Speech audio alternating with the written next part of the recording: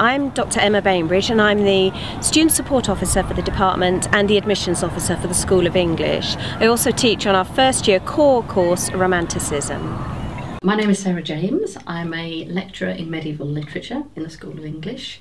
I am also Director of Student Recruitment and Admissions and I also have a role in the Faculty Centre for Medieval and Early Modern Studies where I am Deputy Director. Students are required to take only one module as a compulsory module in the School of English, and that's Romanticism, which is a basic overview of the Romantic period Blake Shelley, Keats, Byron, Wordsworth, Jane Austen, Mary Shelley's Frankenstein.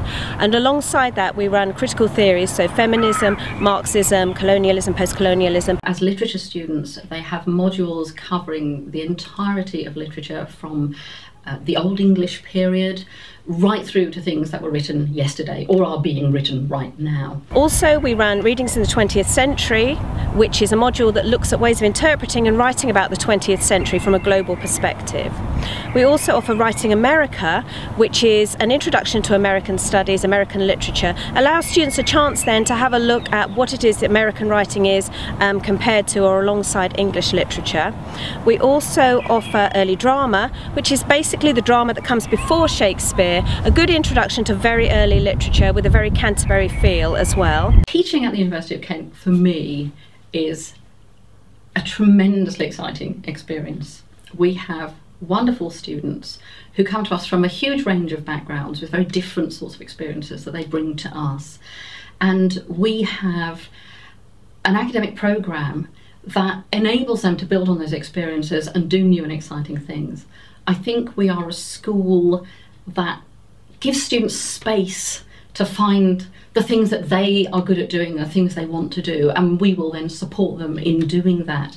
Always always aiming for really high academic standards, but being very flexible in terms of how we think about students can achieve that. In the second and third year, we are looking for students to explore the things that they are passionate about. It's a chance to engage with modules that you have some real feeling for. So we offer everything from early modern literature, medieval and Tudor early modern, through Shakespeare, 18th century, 19th century, 20th century, a lot of American modules, post-colonial modules, and also the opportunity to write a long essay, um, kind of dissertation style. There's a lot of opportunities and a lot of variety, and it's up to you to decide which suits you best of all.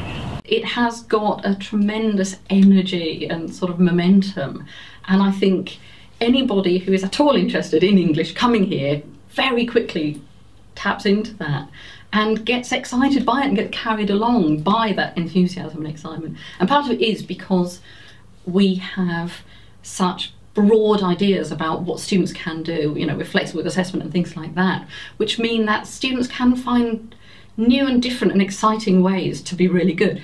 If you're thinking of studying, think carefully about what it is you want from your English degree. Look at the modules that we have to offer and ask yourself, would I be happy to do those? Um, if they look exciting, then Kent is the place for you. You need to fill your personal statement full of enthusiasm and passion for the subject, a desire to learn more, um, and that is really all that we're looking for.